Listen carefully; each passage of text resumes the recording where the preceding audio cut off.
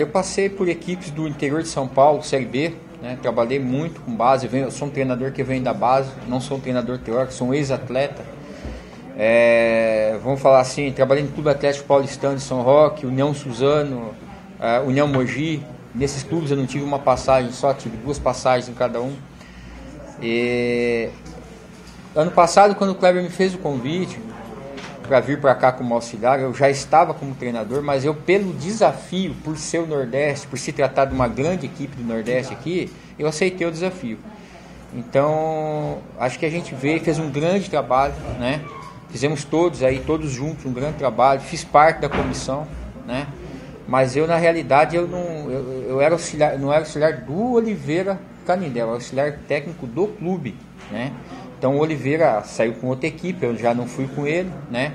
Fiquei é, esse tempo aqui, na realidade, o treinador ele nunca fica parado, por mais que você está parado, você sempre está se reciclando, né?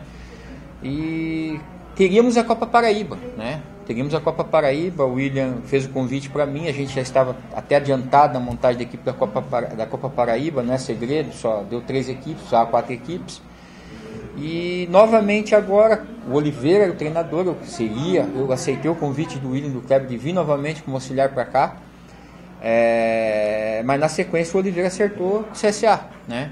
Então aí fizeram o convite e me efetivaram. E aí vem o negócio, a grande pergunta acho para todos vocês aqui, é, mais ou menos assim, você está preparado? Eu digo para você que eu estou preparado há três anos já. Né? Então a oportunidade veio e eu vou. A palavra é agarrar com unhas e dentes aí e vou tentar fazer o máximo possível para dar alegria para essa nação raposeira.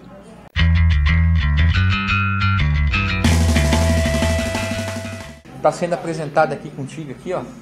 Esse aqui é um, né? O, tem o Célio Roberto Ferreira, que é, que é o outro auxiliar. Tem o Lagusa, Alexandre Lagusa, preparador de goleiros. Inclusive, eu gosto de ressaltar, Alexandre Lagusa, ele foi treinado, ele está voltando para cá pelo grande trabalho que ele fez, que o Pantera, que era o goleiro que ele trabalhava, foi escolhido o melhor goleiro da Copa do Nordeste. Então, Lagusa, como profissional, mais do que provou que tem que tem que estar tá aqui conosco novamente, né? E o preparador físico é o Rodrigo, né? É o Rodrigo Carvalho, preparador físico, estava no Aimoré, Rio Grande do Sul? Deve estar chegando aí um, calculo um, lá pelo dia 2, dia 3, aí o resto, o restante da comissão. Rodrigo Carvalho. Rodrigo Carvalho.